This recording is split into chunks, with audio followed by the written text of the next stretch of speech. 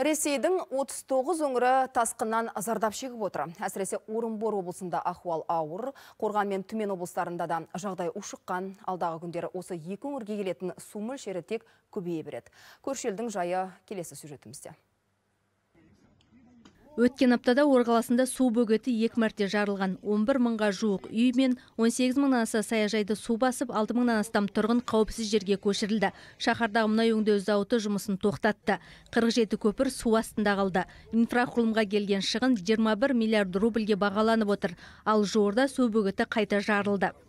Очередной порыв дамбы в старом городе Орске. Ор қаласының ескі бөлігінде қайта су бөгеті жарылды.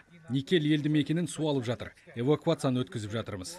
Жергілікті билік өкілдерінің мәлімдеуінше Орынбор облысында бір ғасырдан бері мұндай жойқын су тасқыны болмаған.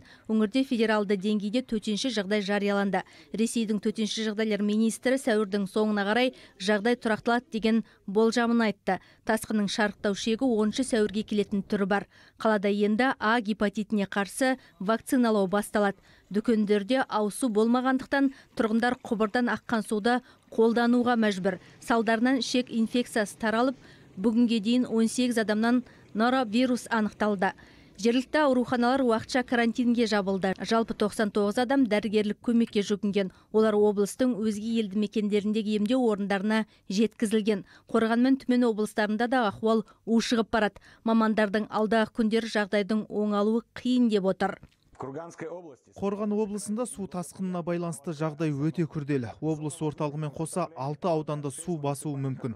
Қорғанды есептемегенде қауіпті аймақтағы 62 елді мекенде 18 мыңнан астам адам тұрады. Өңірде жоғары дайындық тәртібі жарияланды.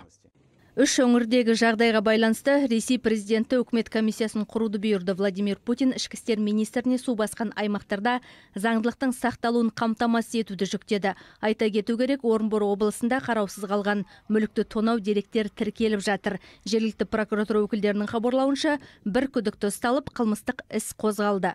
Гүлмайра Қуатбайқызы, Бекболат Тұрмаханов, хабар.